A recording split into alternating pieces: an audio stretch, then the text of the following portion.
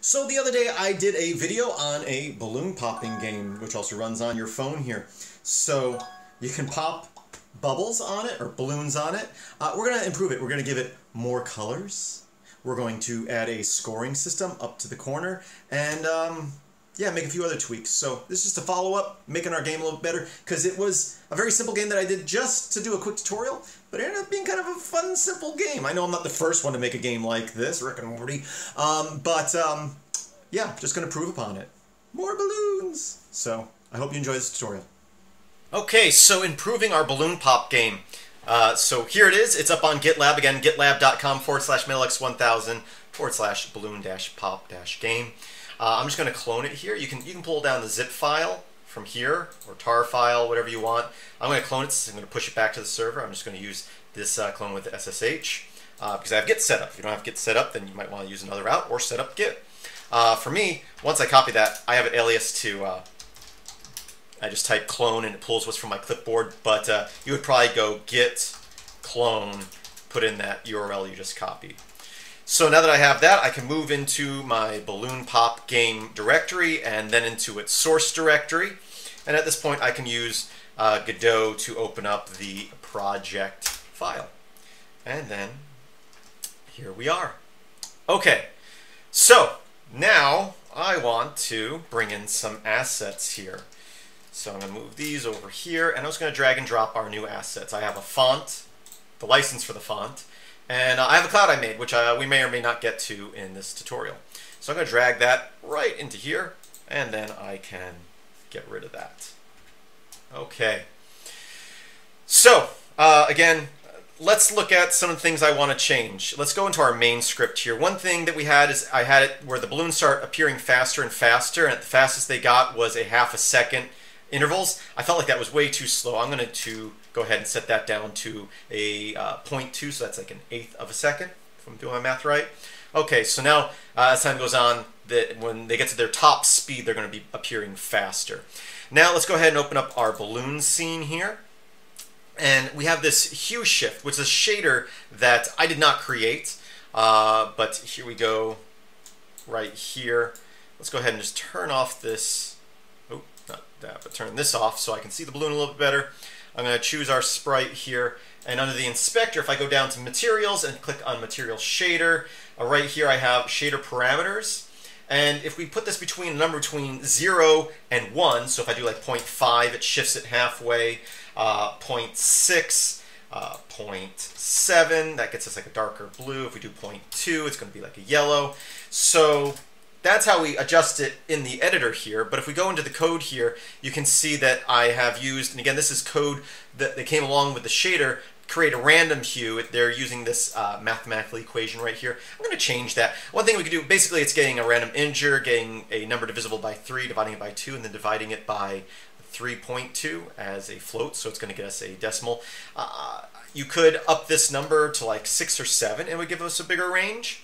Um, but you can also just put a random range with some steps in there. In fact, I'm, I'm just going to go ahead and just say 7 because that's something I tested out there. So basically it's going to give us, instead of before we had three colors, we're going to have, um, I guess, seven different colors possible here. I think is how that breaks down. But we're going to get more colors in the balloons. We're going to get some teals, some purples, maybe some pinks, and some darker blues.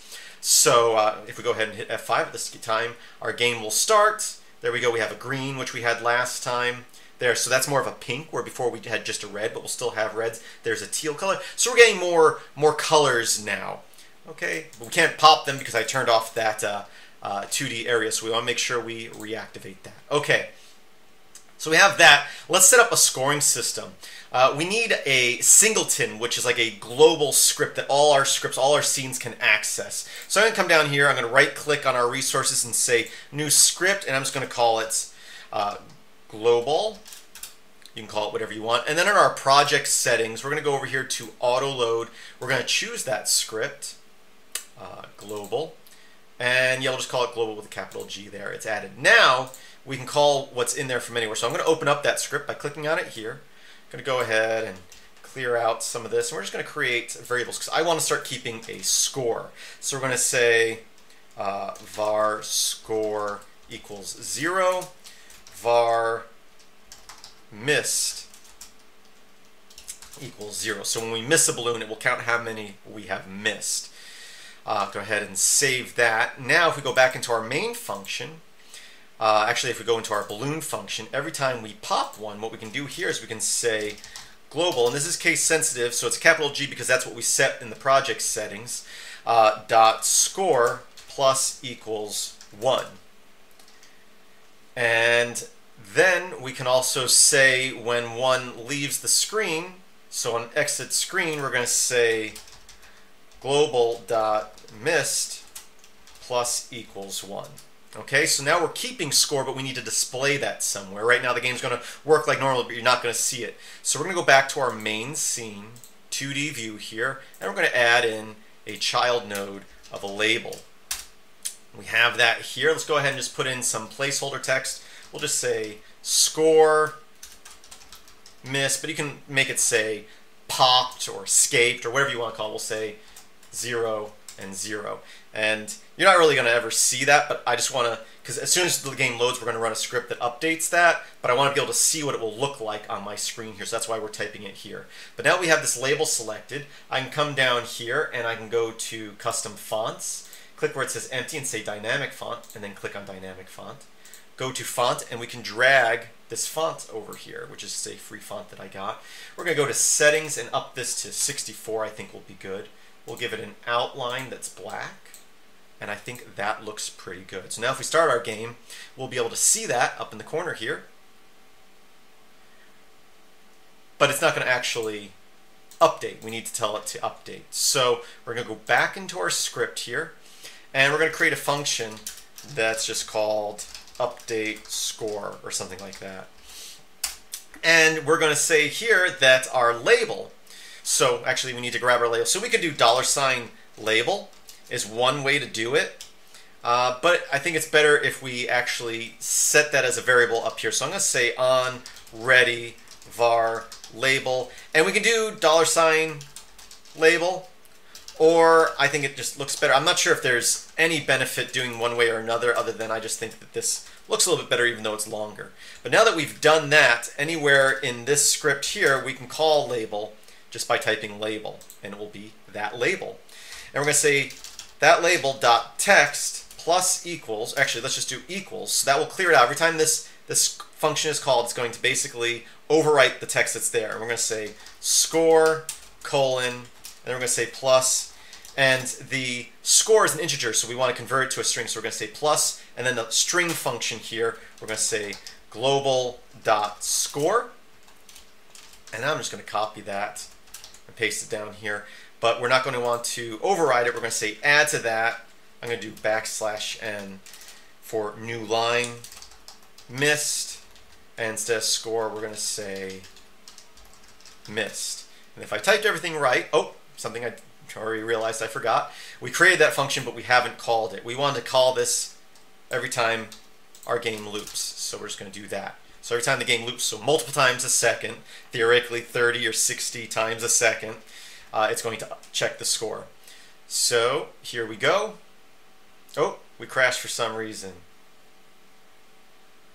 Global GD type string. So it's saying the value of type string. And that's on this line. So maybe I don't have to... I guess I never actually set it as an integer which technically is something uh, to be correct you should. Okay. Okay, let's let's put this back and look at our global script here. var score, it should be saying it as an integer since I gave it zero here. Let, let me read that error again real quick.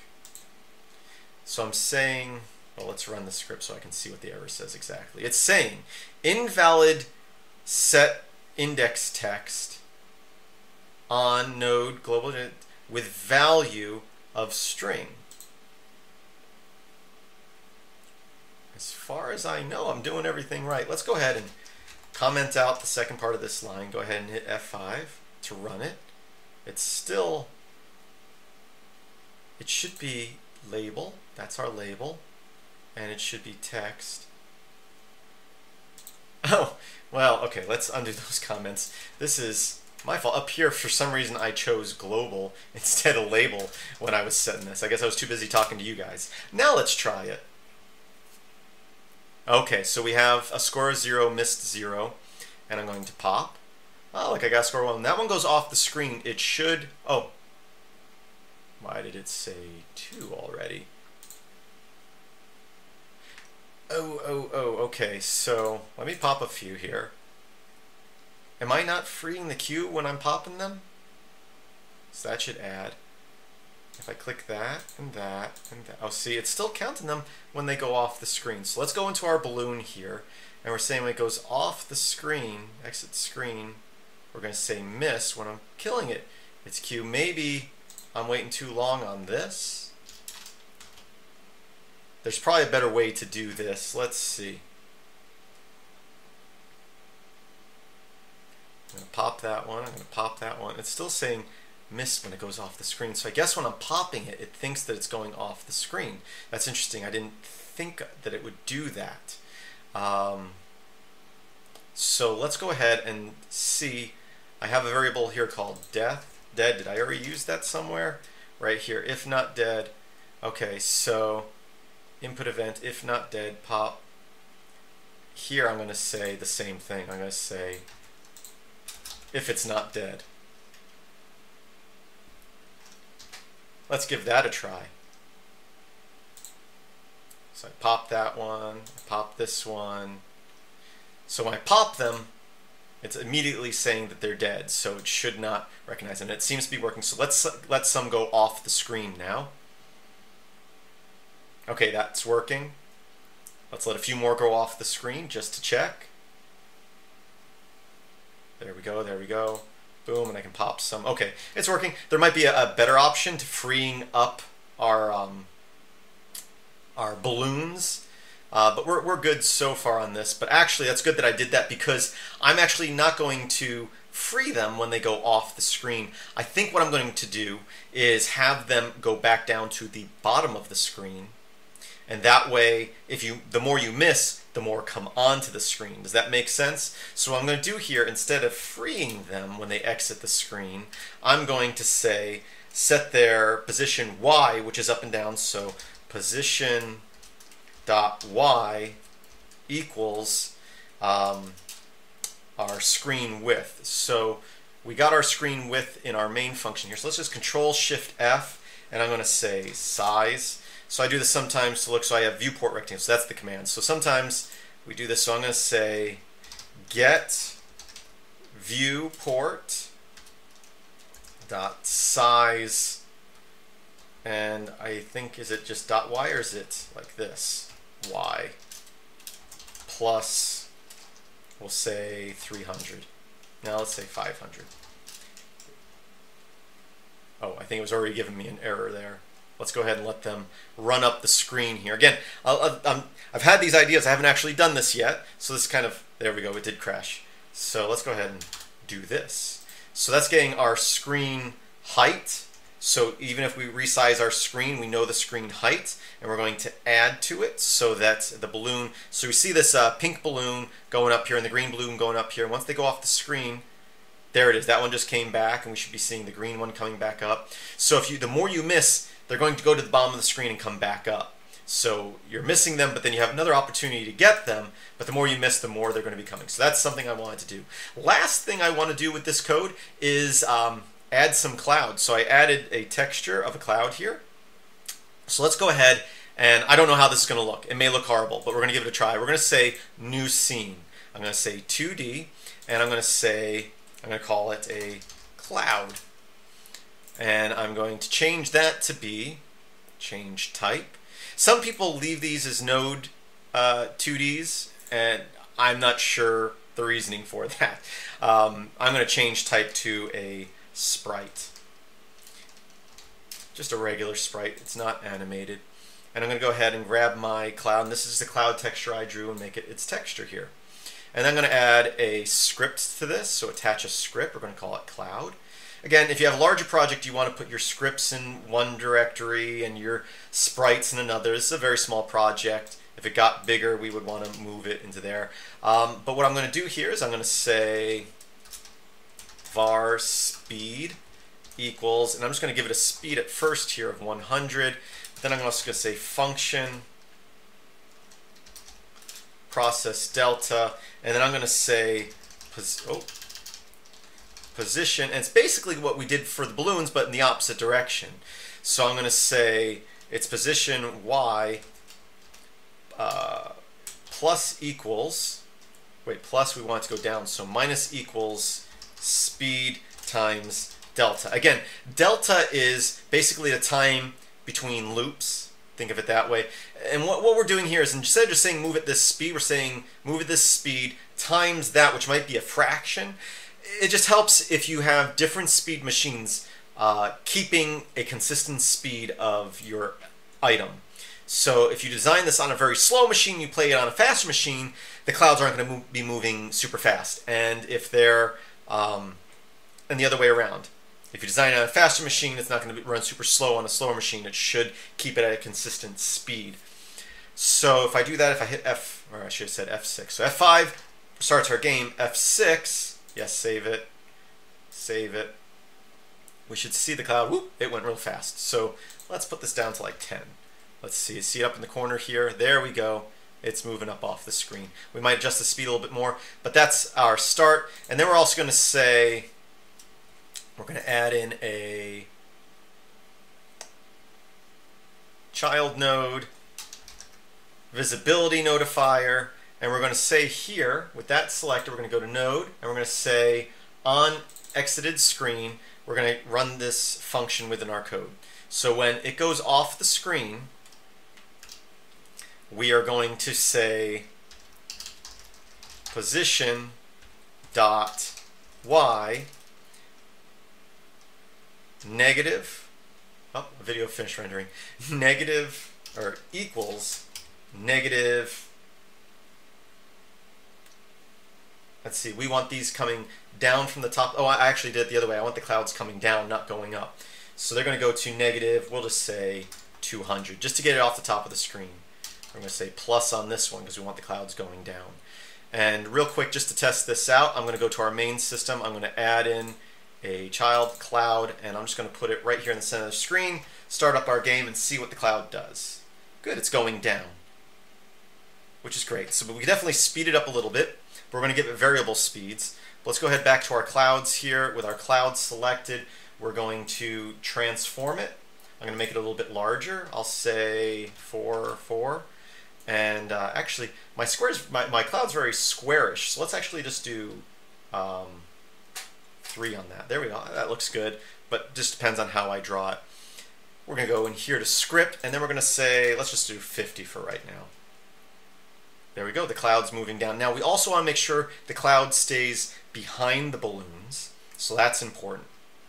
So let's go here, and for our balloons, choose our balloon, go to um, z-index. We'll set this up to something higher, like 50, and we'll go to clouds, and we'll set its z-index to negative 50. Doesn't really matter how big the number is, but just want to make sure there's a difference there. And uh, let's go in here back to our cloud script. And for their speed, let's do a random range of 50 to 100. So our clouds all move at different speeds. And then we can code it for them to show up and make it a little random. But let's go ahead and just set some into our game. So I'm going to put one here. Let's set our score, our label here. Its index. Oh, you know what? It's a label, so they don't use the index. They use something else. I'm not going to worry about that right now. Our clouds might be in front of, well, unless we do this. There we go. That works. So I have one cloud there. So the problem with manually, whoops. Okay, let's put this back up here for now. Actually, let's put it back down here and lock it in place. Right, so I'm going to choose this and say lock, so now I can't drag that around. The problem with manually setting our clouds is we're not really taking the size of our screen into account. So I'm putting this out like this, but if somebody had a, uh, screen wider than this, it may not work out too well. Let's just go ahead and I'm going to add one more right down here. So they should all be moving at slightly different speeds. See, my screen's wider than I had anticipated, and that's the problem with manually doing this. And uh, but they should get kind of spread out over time because they're all moving at different speeds.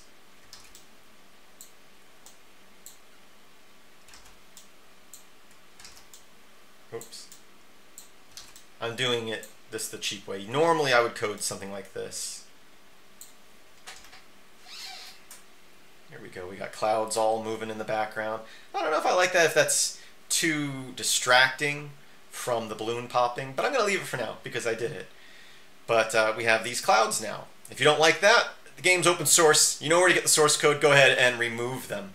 Uh, but that's it. Uh, I hope you enjoyed this tutorial. I hope you visit my website, filmsbykris.com. That's Chris the K. There's a link in the description. Go ahead and check that out. Uh, and as always, I hope that you have a great day and I hope that you learned something. Thanks again for watching, and I hope to see you in the next one. Okay, so hold on. Do you remember how we increased the uh, rate at which the balloons appear? With that and the balloons looping around, it does get a little out of hand. We could do something where it counts how many balloons are on the screen and sets a max, uh, but I think I'm just going to go back into my script here, uh, my main script, and change this delay back to a half a second because uh, that seemed pretty good before. It was a little slow, but now that our balloons are looping around when you miss them, uh, I, I, think it will even out. And the only way to really test this is to, you know, wait a minute or two and see what the balloons do. Uh, but I might tweak that number a little bit, but I just wanted to go back because as soon as I stopped recording, it's like all these balloons started coming on the screen. So it starts off kind of slow, but will increase in speed. Again, thanks for watching, and I hope that you have a great day.